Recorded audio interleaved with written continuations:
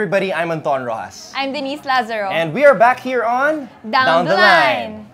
So then, it's great to be back here on the couch, Ah, I back on this set. couch. Oo nga, I missed our shenanigans. Yes. And today we will be back at it dahil nga natuwa tayo sa lahat ng mga tweets ng mga manonood ng ating first season ng Down the Line. Oh, thank you so much for your support at syempre nakakataba ng puso na na-enjoy nyo yung episodes namin. At dahil sa mga tweets nyo, we are back here for one episode only. Oh, a very special episode. Exactly. Dahil bukas na nga ang highly anticipated Game 1 ng Best of 3 UAP Season 79 Final Series sa Women's Division ng Ateneo at ng Lasal. Six consecutive years. Mm-hmm. De La Salle, Ateneo in the finals. It's a saga, Anton. Exactly. And for the past five years, nakita nga natin so many different personalities. And we're gonna be joined by some of them here today on the show. Tama, magkaka-discussion tayo on what will happen dito sa Best of Three Final Series ng UAAP Season 79 Finals. All that and more when we come back right here on Down, Down the, the Line. line.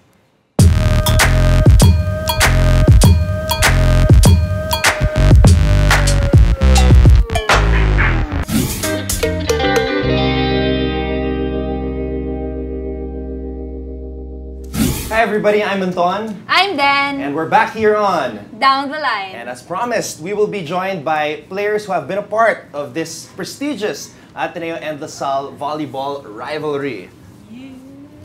We got from De La Salle University. Wench Chu and Melissa Gohing. And for Ateneo, we got Z Hervasio and May Tajima.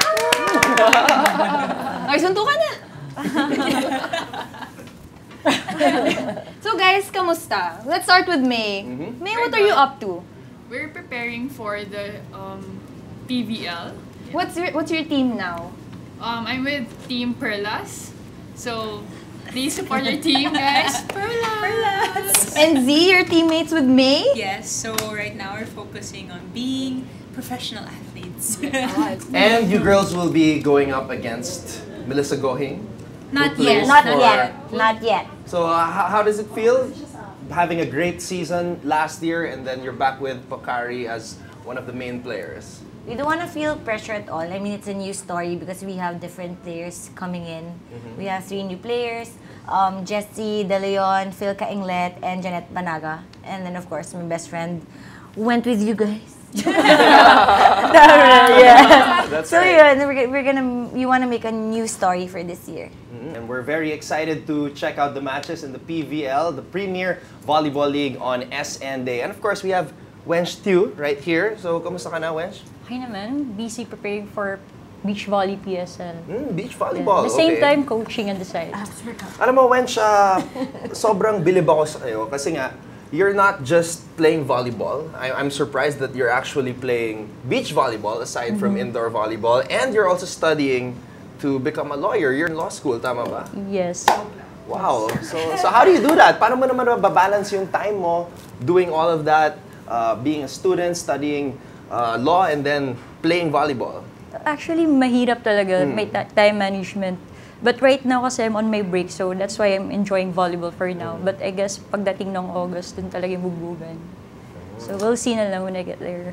And um, I'm sure you guys are also very excited with the Ateneo Lasal finals that is happening tomorrow. yes, tomorrow. Yes. And um, I'm assuming na Wench here and Melissa are confident that Lasal is going to defend the championship. Tama ba, girls? Of course! O, ano naman ang sagot Confident nyo? din naman O. kami na mababalik sa katipunan yung corona. So, Confident. why? Ano ba ano ba ang reason? We, we want to find out the reasons as to why you guys are confident na mananalo ang inyong mga teams in the upcoming finals. I'll start with you, Melissa. Why do you think LaSalle has a good chance of winning the final series against Ateneo? Well, the break from the semifinals, they have time to prepare, mm-hmm. and as well as they they are the defending champions. So, th- of course, they have the pride of being the defending champions. So, for sure, they won't just give the crown away mm-hmm. that fast. Meron ba kayong reference doon, Z? Well, I guess basing on history in the previous History. Okay, uh, I'm just ano, I'm just gonna be yeah, I'm just gonna give it to them na since they already did it in the twice in the elimination round, so like why not again in the finals round? By the way, I just want to take note. Z is wearing her uniform. when she was team captain, Z, Z, pakita mo yung line. Fashion Bring source! Z, Z, pakita mo yung Catwalk, linya. catwalk, Z, Ayan, catwalk. ayan. Then, what, what do you call those? Culottes ba? Culottes? Ano ba?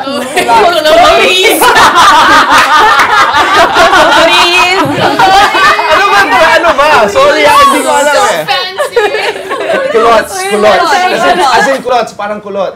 Kulot. Okay, okay, okay. Hindi, okay lang. Okay lang na magkamali. Ibig At least alam niya, di ba? Mali lang yung pronunciation. Good try, Anton. Okay, so i- ibang klase talaga ang fashion statement ni Z. It's very Thanks. diverse, but I also like Mel's um, outfit today. Um, kasi may sayaw ko mamaya. G-Force!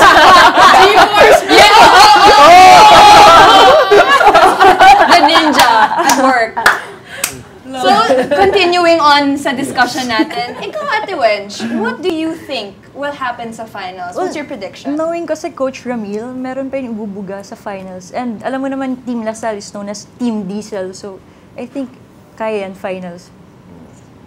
May hindi pa natatalo ang Ateneo sa Lasal in the elimination round. It's it's actually um I almost dropped the ball. it's happened twice since Coach Tai came in. Yung ah, second year niya na na-sweep ng Ateneo. Kayo, ang ah, ang ah, Lasal and then this year na-sweep na naman ng Ateneo Lasal. So why do you think Ateneo has been successful against Coach Ramil de Jesus and Lasal? Well, I think um, we can base it on their preparation also. They've been really working hard, and you know that they really like scout players or like the plays, and even um, during the game, they just their mindset is just to just play their game, enjoy, and even follow Coach Tai or like whatever place they need. Like their heart strong and happy happy mentality will help them really in the finals. So, we all know of the LaSalle swag. Ate Wench here is one of the quietest Yeah. Hmm, mabait tong si people I know. Sobrang tahimik lang ni Ate Wench, pero pagdating sa court, silent operator yan. Maaasahan sa depensa, Oh, sa palo. One of the leaders of LaSalle. Pero Ate Wench, anong masasabi mo? Saan nyo nakukuha yung swag nyo pag naglalaro kayo? I think sa practice lang din yun. Kasi Coach Ramil wants us to medyo mayabang, swag, para mahawaan yung teammates namin. So sila, sila, para mawaan ako. sila na yun. So speaking of swag, sino yung nakikita mong ah, continuing the tradition of Lasallian swag from the current batch of Lasal Ngayon, players? I think si che- Cheng. Des Cheng. Mhm. Pero hindi naman siya ganun dati ah. But parang this year, she was all of a sudden out there and, and very animated. Baka lang din na-push lang din ni Coach Ramil sa training. Kasi Kasi I haven't Coach watched Ramil yung nagtuturo na maging swag. Yeah, mali yung Kasi. Wow, kasi, ganun, ganun ba? kasi that time kasi there was a there moment din namin during our training na gusto ni Coach Ramil magyabang ako. Sa magyabang ka, paulit-ulit ng pinapagalitan ako. Sige, magyabang ka, magyabang ka. As in, sumigaw ka lang doon pag nakapunto. So, I felt awkward lang din kasi hindi na ako ganun. It helps eh. And you have to take on a different So, persona pinitrain when din yun minsan ni. Coach. Okay, but but for Ateneans, I think it's very different. I think you guys have a, a different Very different. way way of swag. Like I remember Phil, she would just like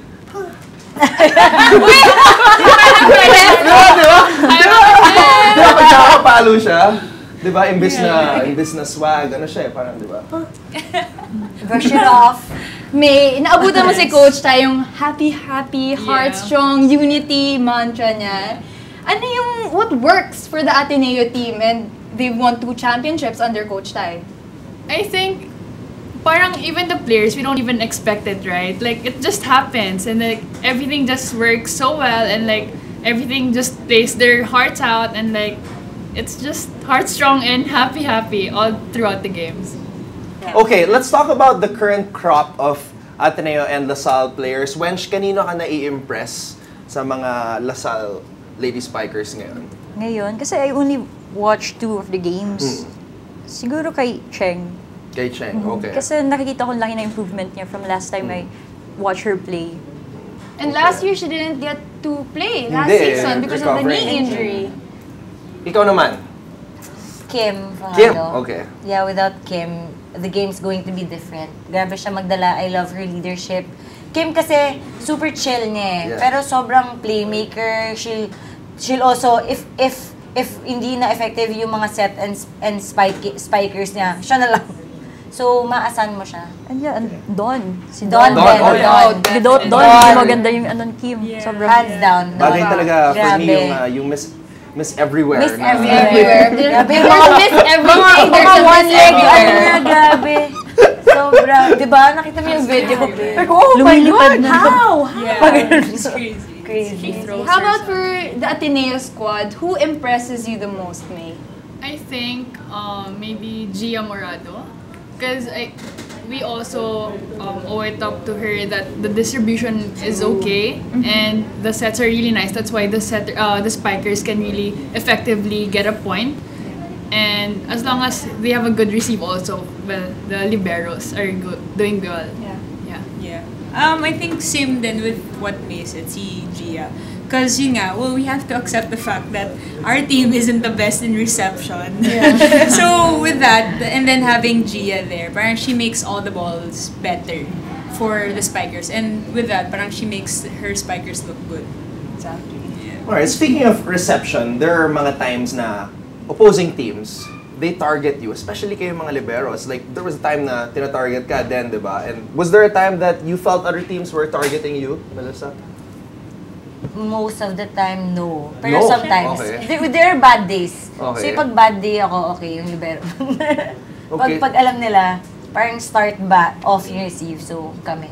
So what do you look at sa mga current liberos? Like, si Dawn.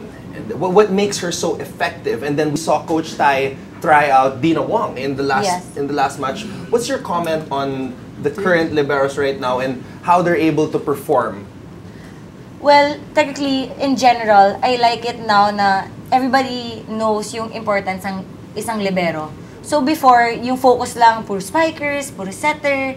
So ngayon, sobrang may, may coach na ng, ng, ng mga liberos ngayon. So may sariling drill. So sobrang tumataas rin yung level ng mga games ng libero. Like, um, Kath, from from UE, Arado. Kath Arado, and then Don. Sobra, and then, yung mga liberos ngayon, sobrang nagpa-play of the game na. So, Tapos grabe. nagsiset pa. Nagsiset pa.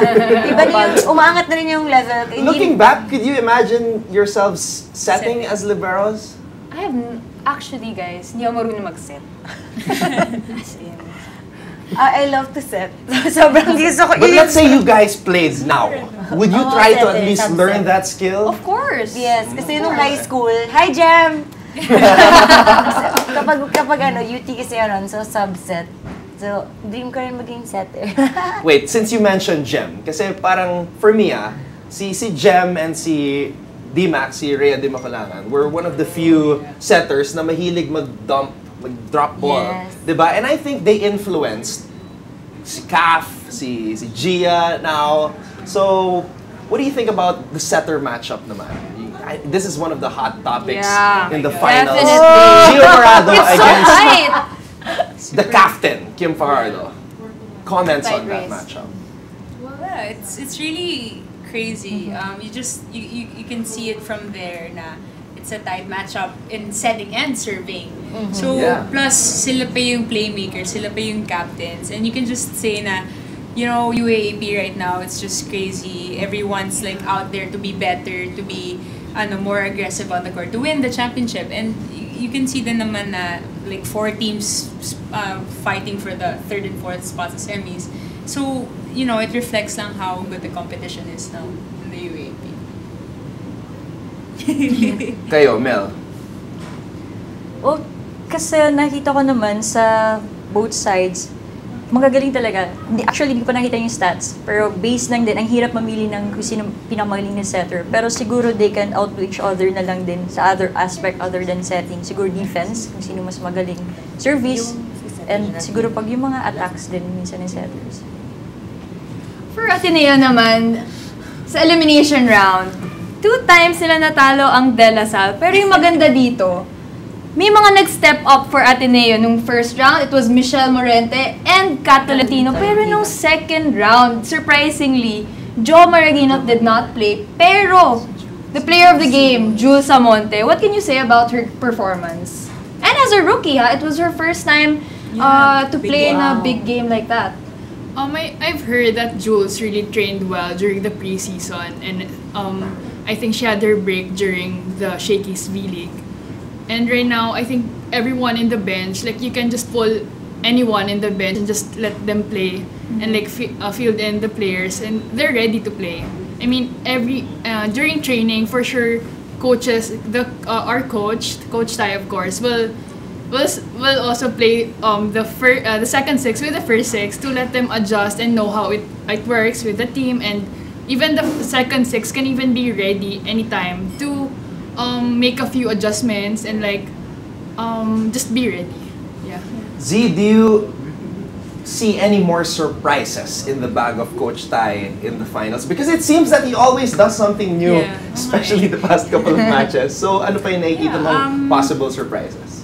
I don't know, maybe like switching up players in different positions. I mean, like, kunwari, we can probably see, like, like wildest or like crazy thought lang, say Kat Tolentino play utility, like to block the Lasals open. But then Kim Kiana din, din naman is is ano is uh, good support for mga ganun. Switching up players and I think it's ano, it's luck din kung maganda bunot niya for sub if someone doesn't uh, perform at par. So, something like that. Melissa, from the looks of it, parang mas maraming surprises as of now, ha? Si Coach Tai compared to Coach Romel. But do you think that will change in the finals? I think possible, knowing um, Coach Emil is one of the best coaches in tactics, when it comes to tactics, one of the best. Eh, well, both naman eh. So it depends lang talaga, tama si Z, na it depends on ta- kung, kung tama yung boot ng players, depende rin sa gising ng mga players. So it depends talaga. So maybe luck or or or para sa kanila talaga. Well, a lot of insights from our uh, volleyball legends here from Ateneo and LaSalle. Thank you so much, ah, but we're not done yet. When we come back, things will get a lot more interesting on down the line. We'll have a quick set.